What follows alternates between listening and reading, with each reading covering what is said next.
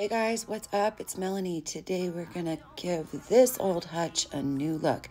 This is a customer of mine and she came to me with a specific look that she wanted. So let's go ahead and get started. First thing we're gonna do is get that um, trim out of the glass doors there. That way we don't have to mess around with taping it off.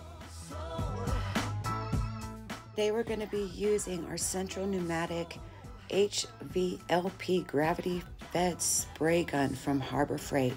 We're going to be using DIY's Prairie Gray. This paint is very thick, so we're going to need to thin it.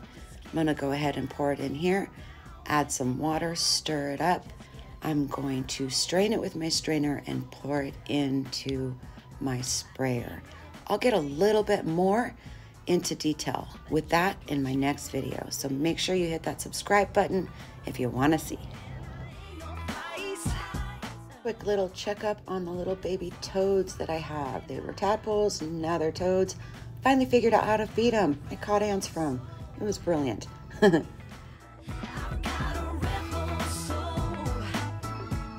We're gonna give this whole thing a base coat of prairie gray. As you can see, spraying goes a lot faster. It's a lot easier to get up inside and round and round on things like this. It just really makes life easier sometimes.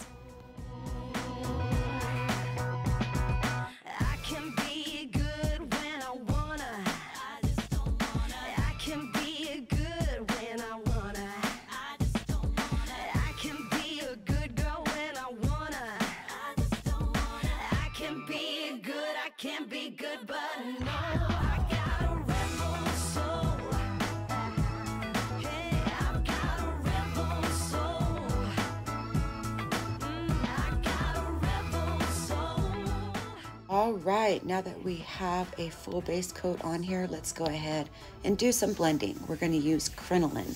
I'm gonna use the tiniest amount, my Cling On brush here, and of course my magic misting bottle. That is going to allow me to blend. It's a day later, so my paint is completely dry. So giving it a nice spritz is going to help those two colors to blend together.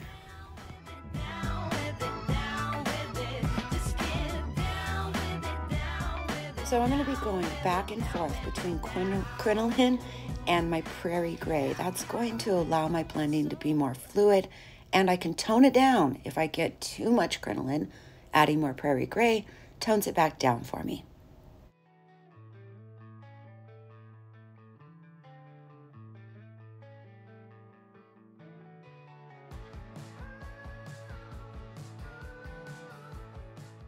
I'm just going to keep working this back and forth and up and down. I want the blending to be very smooth and fluid. I'm really trying to avoid any harsh lines. Giving my brush a little bit of a spritz, giving the piece a little bit of a spritz. This is helping my base color and my crinolines blend together.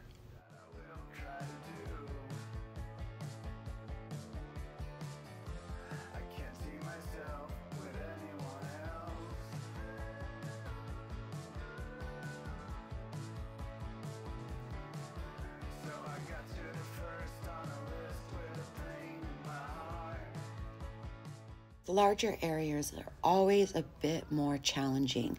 We need to really keep that damp so that we can really move that paint around.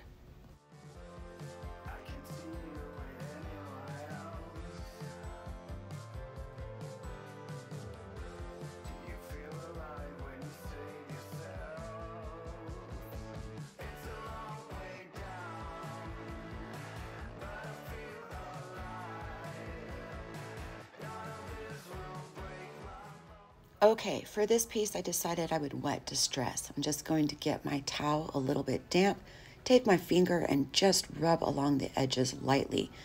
This way, I can bring out the natural oomph of this piece all around those corners, give it a little bit more definition and def defining characteristics. It's a really easy way to distress DIY paint.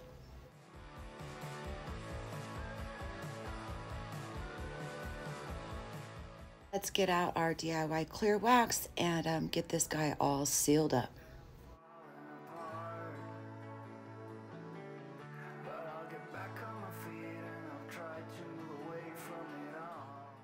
The waxing always looks super crazy at first. Do not fear, it'll dry solid. Just looks nuts at first.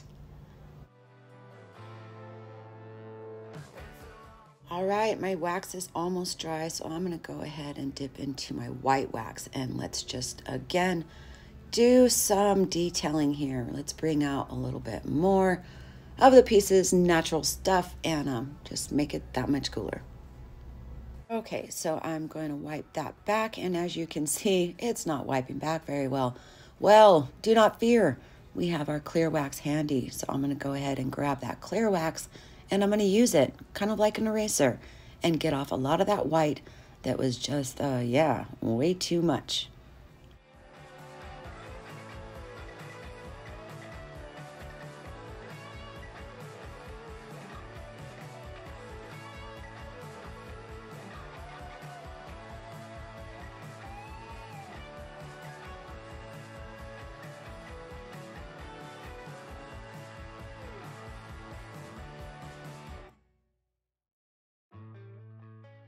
I'm going to use the white wax on the legs, really pushing it down into those deep sp spaces. That way, when I wipe it back, it really brings out those uh, nice curvy carvings on those legs.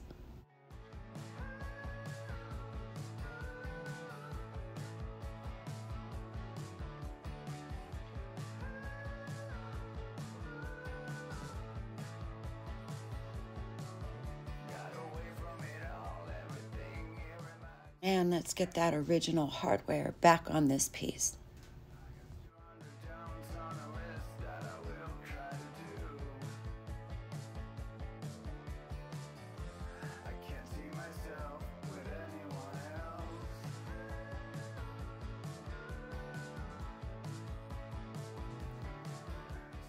Staging can be challenging. I always like to use stuff that I just have around the house and do my best. So here we go, guys. This one is all done. I think it turned out fabulous and my customer loved it. That's the most important part. Thank you guys for watching. Don't forget, you can find all this stuff on my website at Windmill Vintage Designs.